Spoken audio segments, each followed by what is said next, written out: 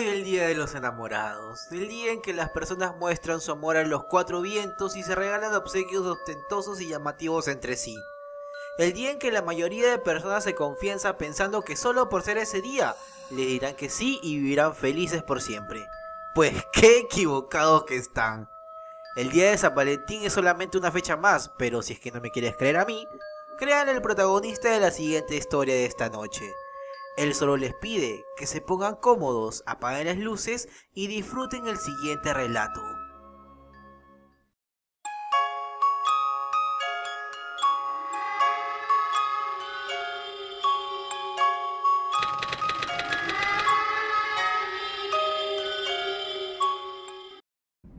Muy bien, esta noche tiene que ser perfecta. Le he planeado todo para que hoy sea el día en que por fin me des el sí y quieras pasar el resto de tus días conmigo. Y qué mejor día que hacerlo que en San Valentín, el día en que nos conocimos. Puede sonar muy cursi, pero desde ese día que te vi hace 7 años atrás, mi corazón no dejó de latir apresuradamente cuando te veía. Y hasta el día de hoy, el sentimiento sigue creciendo. Todo está listo para esta noche. El pronóstico dice que será un cielo despejado y estrellado con una temperatura perfecta y adecuada para que no sientas ni calor ni frío cuando te muestre el anillo que mi abuela me dio el año pasado para dártelo. No puedo creer que haya llegado el día. Estoy muy nervioso, pero estoy muy seguro que me darás el sí. Y este nerviosismo se convertirá en alegría.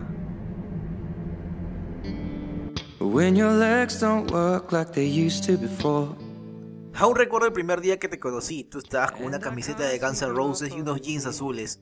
Jamás vi algo tan perfecto y me dije a mí mismo que tendrías que ser mía o moriría en el intento. Luego de unos meses te susurré en el oído que me gustabas y me diste un beso. Recuerdo que esa noche no dormí pensando en ti. Solo quería que fuese el día siguiente para volver a verte y poder estar juntos otra vez.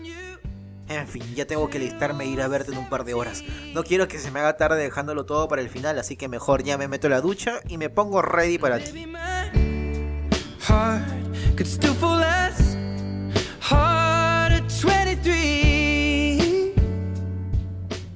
A ver, camisita por elegante, zapatos y pantalón de vestir, relojito llamativo en la mano izquierda, el collar que me regalaste en nuestro primer mes, un peinadito sexy, dinero y tarjetas llenas solo para hoy, condones por si acaso, los tulipanes que te gustan tanto y por supuesto, lo más importante, el anillo.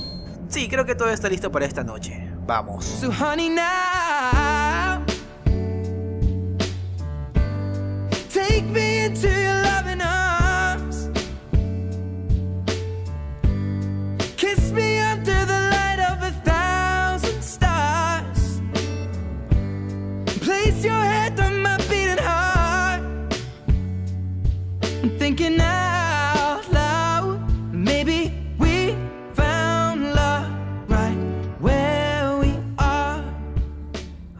Esta mi tan hermosa como siempre, tan perfecta como la luna llena y tan encantadora como para pedirle que hoy se case con...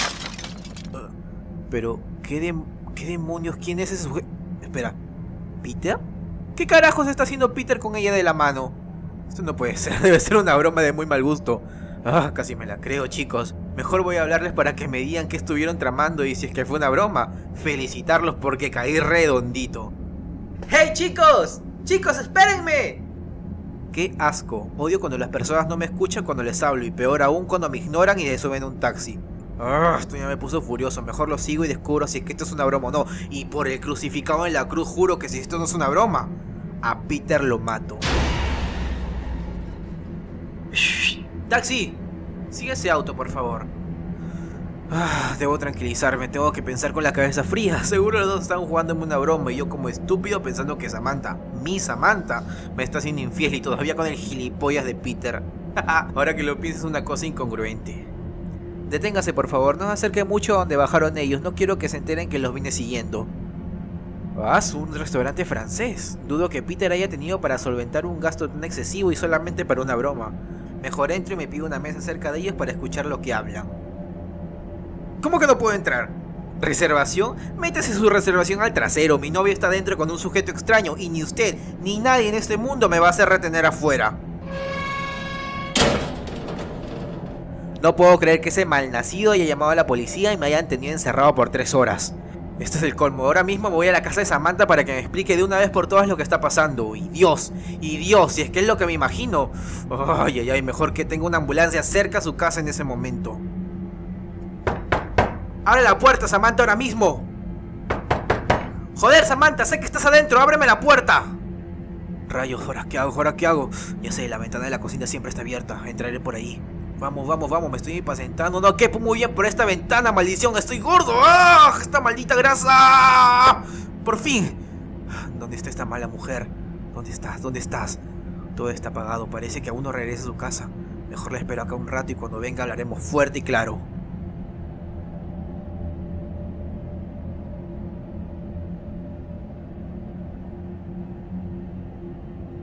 Ah, su madre, me quedé dormido. ¿Qué hora es?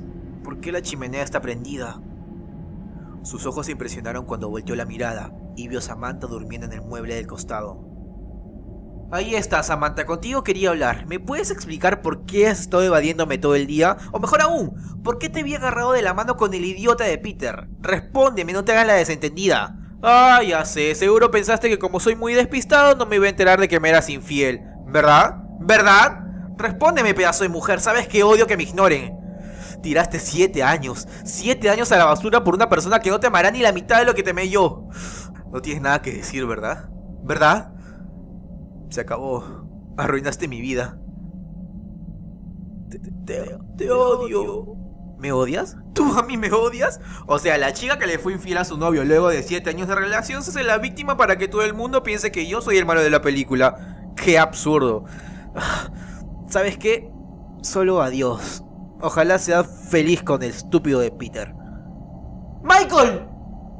Ahora que me dirás, que solo es un malentendido y que soy un paranoico seguro. Por favor, no te perjudiques más de lo que ya estás. Y no llores, que seguro son lágrimas de cocodrilo, maldita.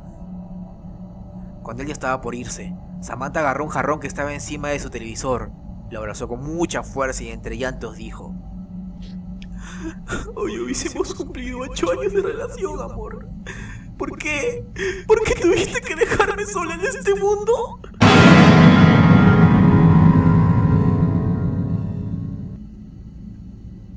Un escalofrío entró al cuerpo de Michael. De repente sus piernas se fueron al suelo y un charco de sangre comenzó a brotar de su pecho como si le hubiesen enterrado muchos puñales de forma directa. Luego él se desvaneció. Ahora lo entiendo todo. Pensé que ese día solamente había sido un sueño y que nada malo había pasado, pero en realidad pasó. Ese sujeto que me quiso robar la cartera me acuchilló porque puse resistencia y me desmayé, y creo que morí. La vida es injusta. Mientras más alto llegas, más dolorosa es la caída. Pero yo no me voy a quedar con los brazos cruzados, Samantha. Si tú no eres mía en la vida, serás mía en la muerte.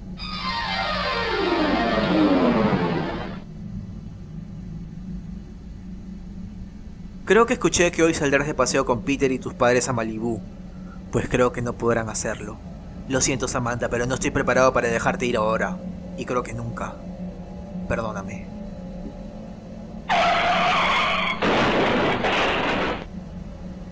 Es hora de escribirte una carta, mi amor. Y la pregunta de la semana es, si pudieras regalar algo a alguien especial, ¿qué sería? Me gustaría que respondieras a través de la página de Facebook o también en la sección de comentarios de la parte de abajo del vídeo. Las mejores respuestas aparecerán en la siguiente narración. Y dígame amigos, ¿cuál es la peor forma de morir?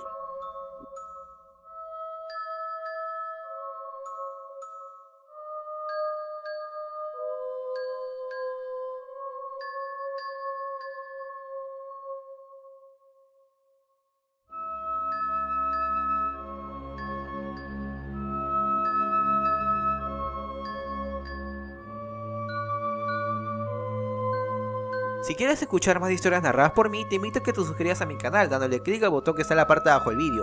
Subo videos semanalmente. Espero que si te gustó, le des like y lo compartas con tus amigos, eso me ayudaría un montón. Si gusta, sígueme en mi Facebook o agrégame y estaremos en contacto siempre, como saben los links están en la descripción del vídeo.